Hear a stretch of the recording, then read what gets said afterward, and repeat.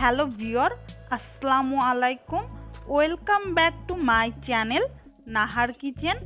আজকে আমি আপনাদের করে দেখাবো তালের রেসিপি। ভাদ্র মাস বাঙালি তাল খাবে না, তা তো হয় না। বাংলাদেশে খুবই পরিচিত একটি খাবার, তালের পায়েস। আমি তালের পায়েসের রেসিপিটাই আপনাদের সঙ্গে শেয়ার করব।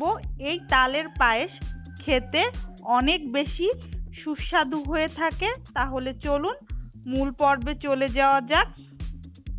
আমি এখানে এক লিটার গরুর দুধ নিয়েছি, এতে দিয়ে দিচ্ছি পোলায়ের চাল ওয়ান থার্ড কাপ আমি এখানে চিনি গুঁড়া চালটা নিয়েছি, চুলার জাল ধরিয়ে দেব।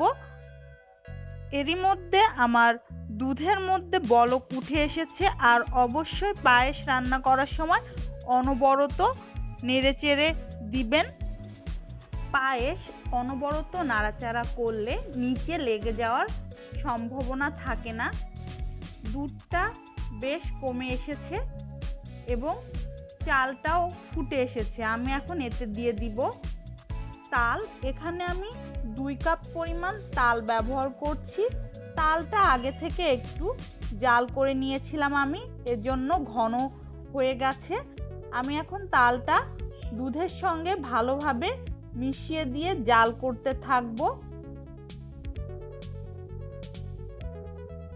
সুন্দর রং চলে এসেছে। আমি নেড়ে চেড়ে এখন এতে দিয়ে দিব চিনি। আমি এখানে এক কাপ পরিমাণ চিনি ব্যবহার করেছিলাম। আপনাদের স্বাদ অনুযায়ী আপনারা কম বেশি করতে পারেন, তবে চিনি কম খাওয়াই ভালো।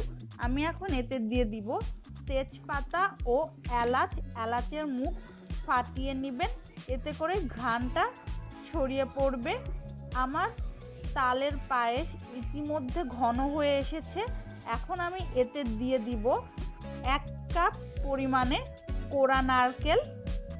কোড়া নারকেল দিয়ে আমি আবারও খুব ভালো মতন মিশিয়ে নিচ্ছি। আর এই পর্যায়ের থেকে তালটা খুব সাবধানে নাড়াচাড়া করবেন, কারণ তালে বলক চলে আসার পরে বড় বড় ফোঁটা হিসেবে এটা ছিটতে থাকে, যেটা হাতে লাগলে হাতটা পুড়ে যায়। আমার তালটা রেডি হয়ে গেছে।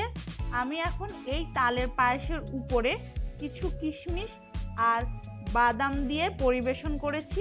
আপনারা আপনাদের পছন্দ মতন পরিবেশন করে নিতে পারেন। উপরে ইচ্ছা করলে কিছুটা কোড়া নারকেলও দিয়ে দিতে পারেন। তৈরি হয়ে গেল গ্রাম বাংলার খুবই পরিচিত একটি খাবার। তালের পায়েস। রেসিপিটি দেখার জন্য অশেষ ধন্যবাদ।